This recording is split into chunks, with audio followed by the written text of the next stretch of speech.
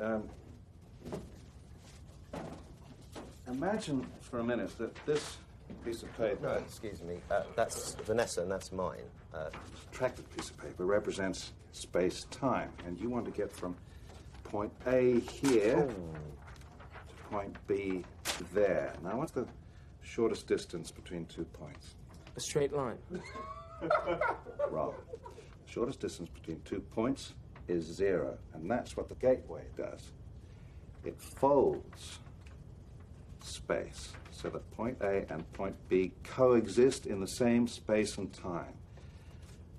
When the spacecraft passes through the gateway, space returns to normal. It's called a gravity drive. How do you know all this? Say don't spread it, huh? It's a sphere. Well, of course it is. What you you thought it would just be a hole. No, it's just that all the illustrations I've ever seen, they the illustrations. I'll show you how it works. So they say you want to go from here to there, but it's too far, right? Mm-hmm. So a wormhole bends space like this, so you can take a shortcut through a higher dimension.